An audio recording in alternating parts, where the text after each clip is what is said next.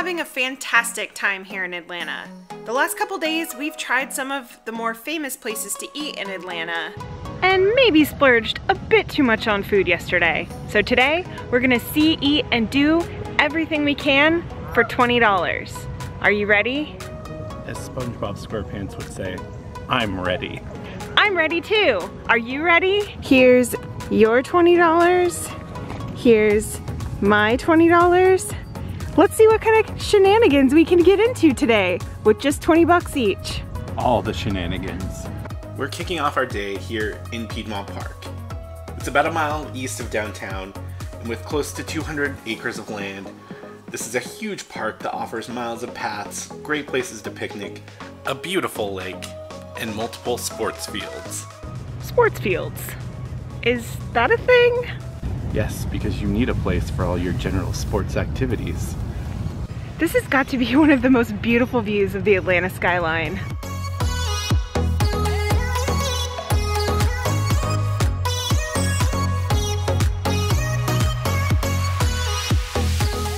Right outside of Piedmont Park is the Atlanta Beltline. This set of trails is 33 miles long and paved on top of a former railroad line. Today we're going to explore the east side of the trail. Atlanta has a lot of cool murals and really beautiful street art. And taking a walk on the Beltline is a great way to check it out.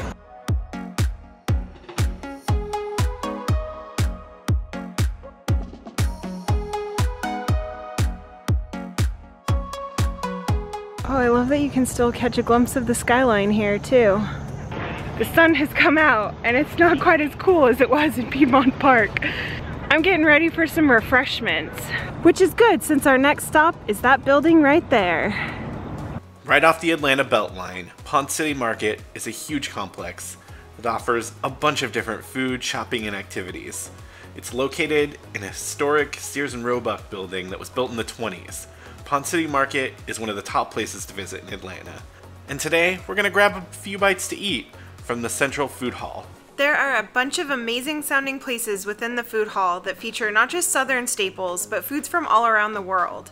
Dogs are not allowed inside the food hall, so I'm just gonna grab a few bites and bring them out to Jeremy and the pup.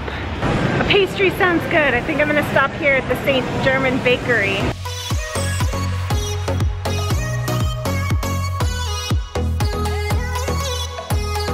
That place smells really good, but there's this place that looks really interesting that has uh, South African food, and I've never had South African food, so I think we're gonna try it.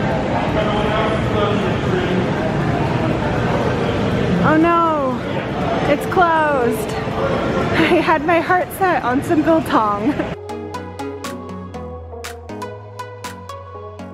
initially wanted to try a different coffee shop I heard about here, but I was just so drawn to Spiller Park Coffee that I have to try something here. There's also an awesome looking rooftop here. The roof at Ponce City Market not only offers amazing views of the city, but it has its own food, drinks, and fun and even a mini golf course. The cost just to get up to the roof is $10 and then all the extra other activities are additional fees. That is not in our budget today, but it is dog friendly, so hopefully we can make it out here next time.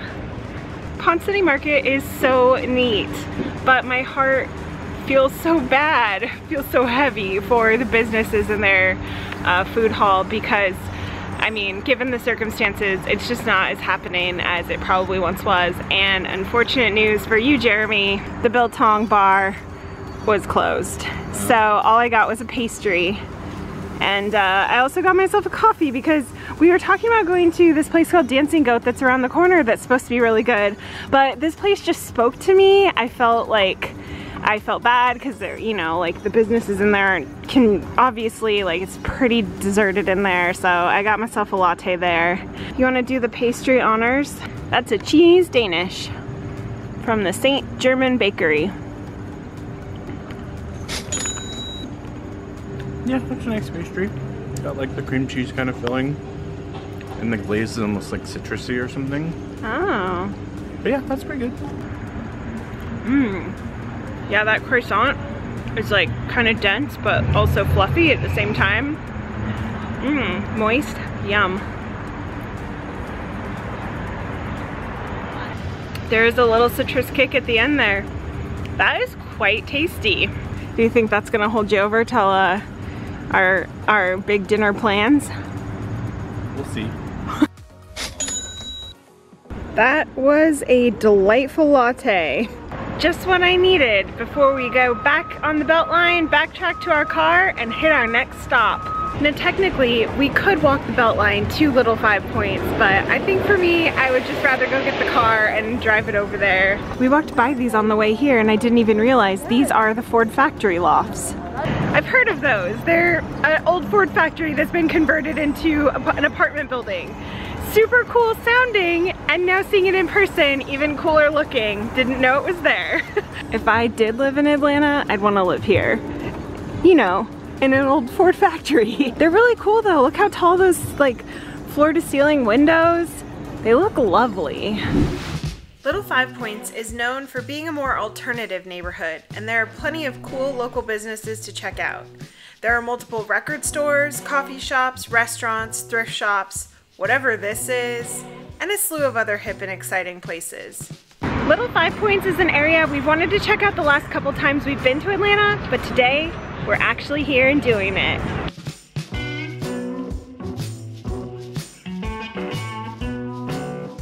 There are usually street artists out here, but I'm, I'm listening to some conversations. It sounds like an officer came through here and uh, shut everything down, so we might not to get to get to see any of the uh, the cool little handy crafty art and uh, things that are normally offered on this street. I think that that is such a cool Billie Holiday painting. Do you love Billie Holiday? I love him. uh, do you remember that? Uh, yeah. Jeremy just went into Criminal Records which happens to be a filming location from Baby Driver. It's the, the record store that he goes to. I don't think it's in our budget to walk out with any records today, which is probably a good thing because uh, this place is supposed to be pretty cool. Jeremy might still not come out empty-handed, we'll see. Oh, so someone did spend some money. We're not gonna count this in the $20. oh, we're not? I did buy a couple of seven inches. If you wanna see us eat here at the Vortex, you'll have to watch our food tour video of Atlanta. This place has been compared to Haight-Ashbury in San Francisco, but I'm definitely feeling like home in Portland right now. It's got that quirky Portland vibe to it. I like it. Little Five Points is definitely a neat area of Atlanta to check out, but if you come to Atlanta, one place you definitely need to see is the Martin Luther King Jr. National Historic Park. Martin Luther King Jr. was born and raised in Atlanta, and much of the neighborhood he spent most of his life in is preserved in a National Historic Site. There are several places worth checking out. Unfortunately, many of the buildings are closed right now, but you can still walk around, see quite a few of the places that were significant in his life, and even visit his tomb here.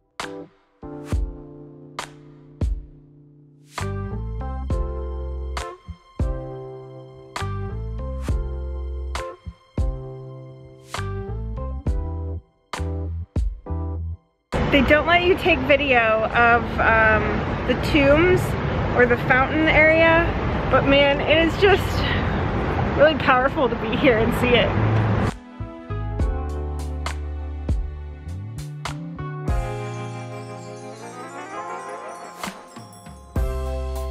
I'm so glad we came here. I just wish that more things were open so we could go see the insides of things. You know, it would have been nice to see inside the King Center and tour his birth home, but I guess that just means there's always a next time. Hopefully it'll be open next time. Originally named the Yellow Jacket, the varsity got its start in Atlanta in 1928. Although the building has moved from its original location, it now occupies two city blocks just east of I-85. There are now six other locations in the area, but we're sticking with this one, the iconic one.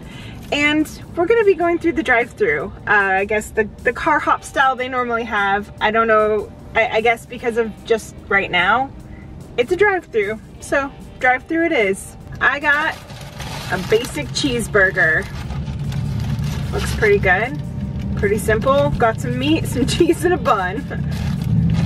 There's some ketchup and mustard if you'd like them. Don't need that. All right. I got a, a chili cheese dog and a chili cheese burger that we can both try. Hmm.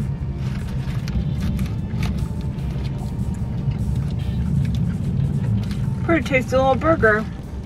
I like that. I mean, it's a pretty simple chili cheese dog, but it's pretty good. You want a bite of that? I'm trying to figure out what it reminds me of. Dairy Queen, maybe? I don't know.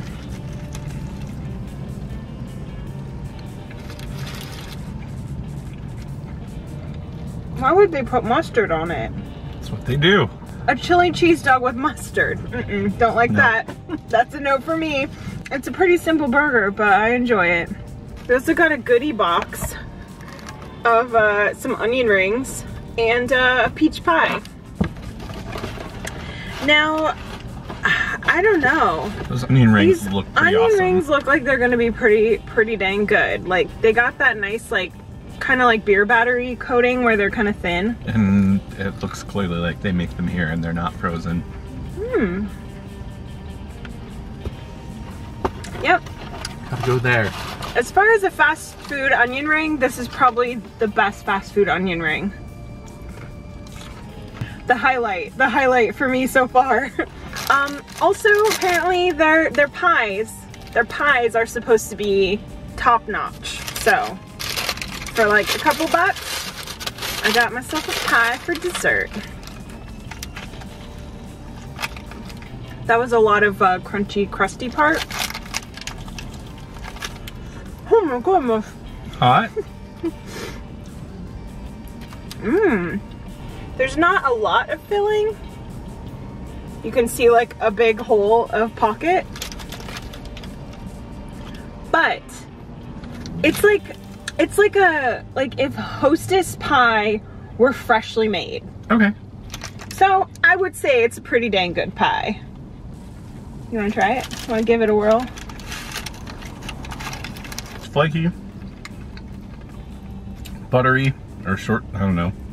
I don't know if it's butter or like shortening, but it's it's got that good like flaky buttery mm -hmm. flavor though. But it's good though, yeah. Mm -hmm. I think that they have like a famous orange cream soda, but I think Jeremy got the the, the milkshake the version. version, which I didn't realize I was getting. I thought I was getting the soda, but it's fine.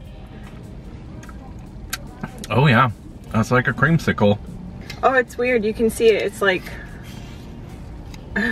it's like uh, kind of ch chunky. It's almost like, it's like, it looks like a mixture between an icy and an actual milkshake.